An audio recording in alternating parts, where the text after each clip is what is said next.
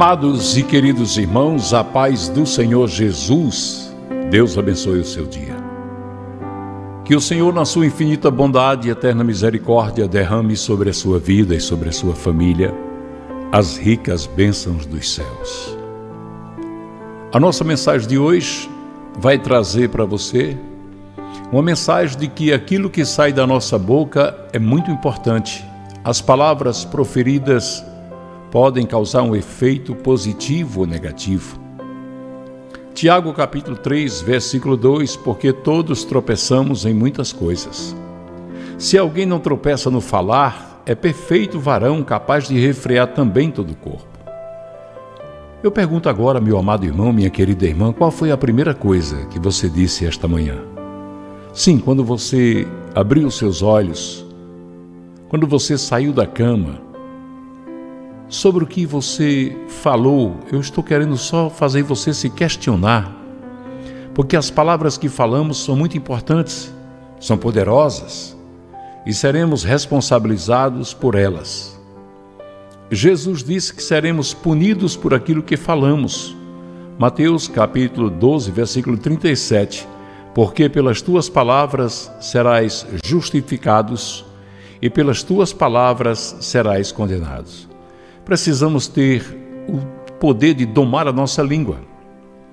No livro de Tiago, irmão de Jesus Cristo, capítulo 3, versículo 4, diz: Vede também os navios, que, embora tão grandes e levados por impetuosos ventos, com um pequenino leme se voltam para onde quer que o, o impulso do timoneiro quer.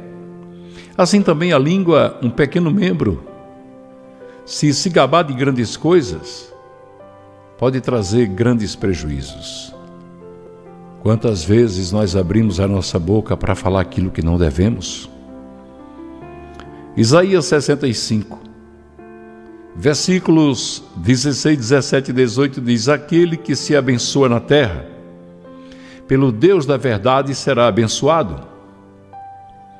Aquele que jura na terra pelo Deus da verdade, que jurarás, porque já estão esquecidas as angústias passadas e estão escondidas dos seus olhos.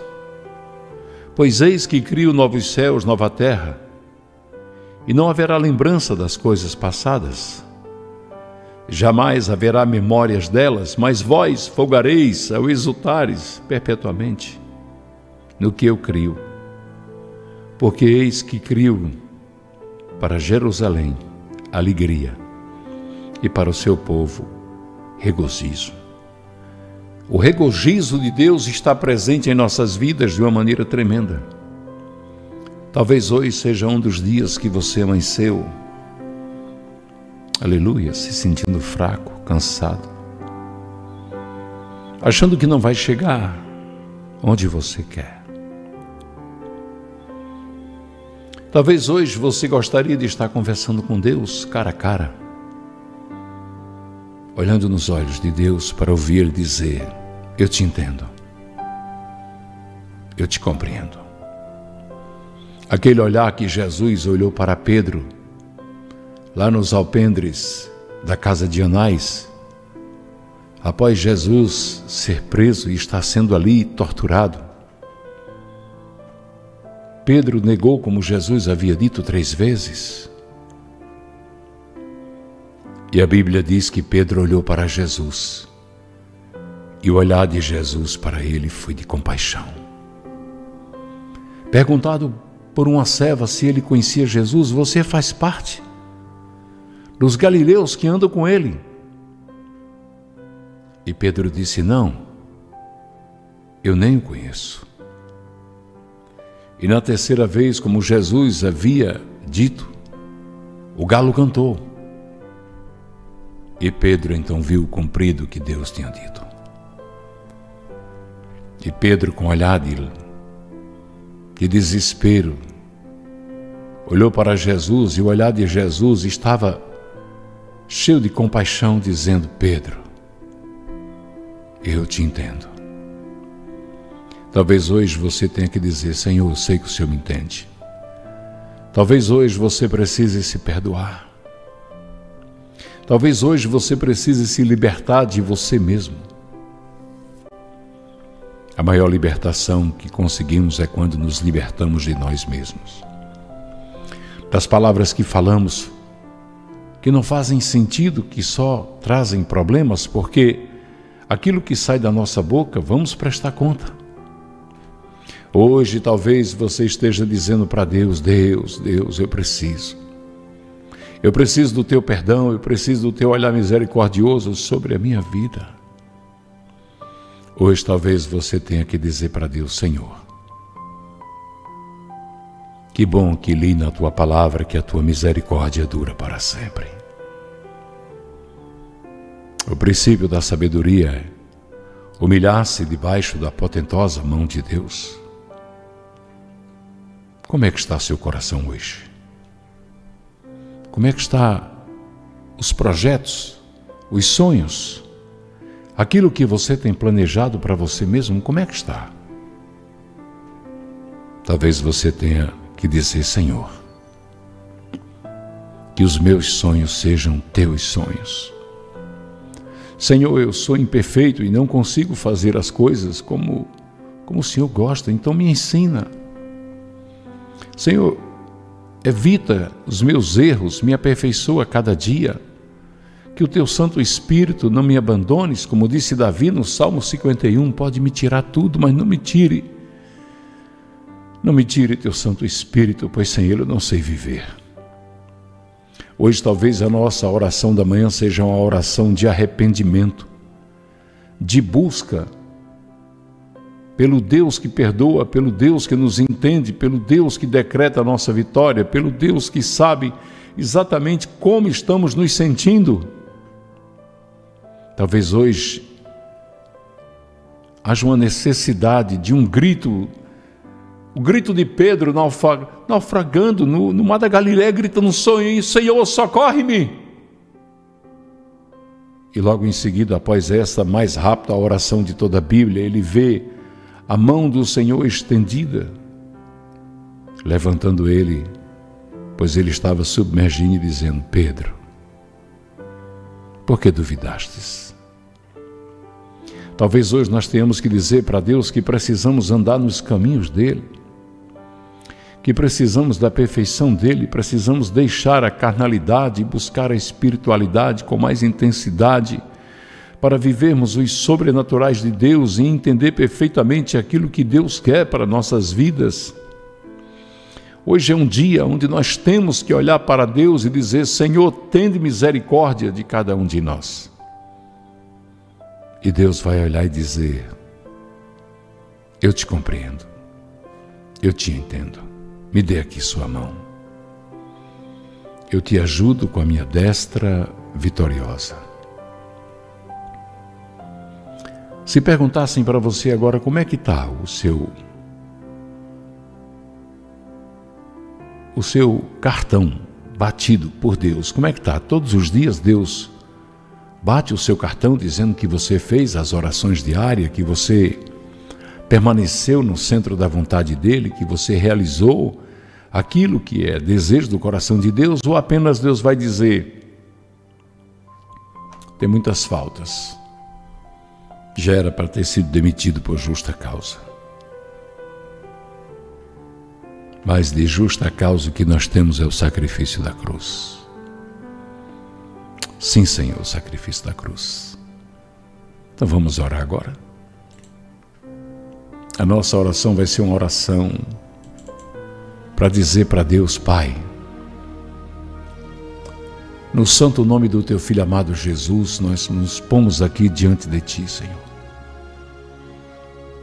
Senhor, pedindo perdão pelos nossos pecados, pelas nossas falhas, pelas nossas imperfeições, por tamanha pequenez, pedindo, Deus, que o Senhor nos aperfeiçoe a cada dia, porque nos compreender, nós sabemos que o Senhor nos compreende.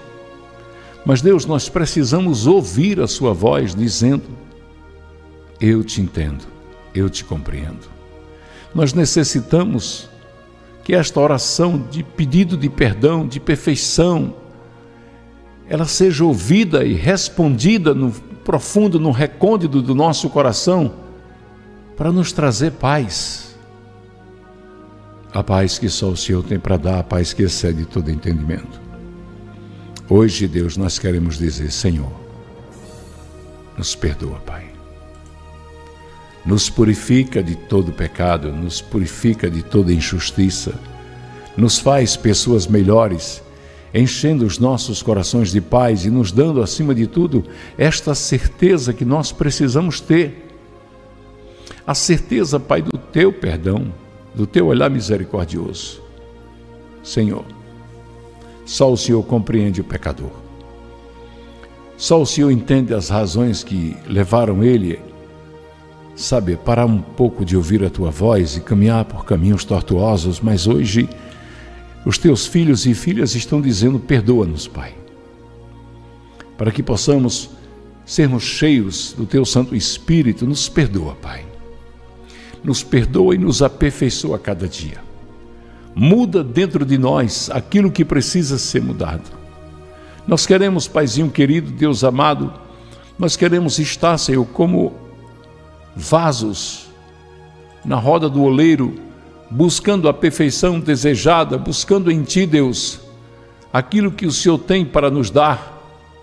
Nós precisamos, Deus, exatamente disso, porque sem isso nós não temos paz, não temos alegria, não temos, Pai querido, Deus amado, o teu olhar cheio de misericórdia, dizendo para nós que nos compreende, que nos ama e que tem tudo para nos fazer sorrir.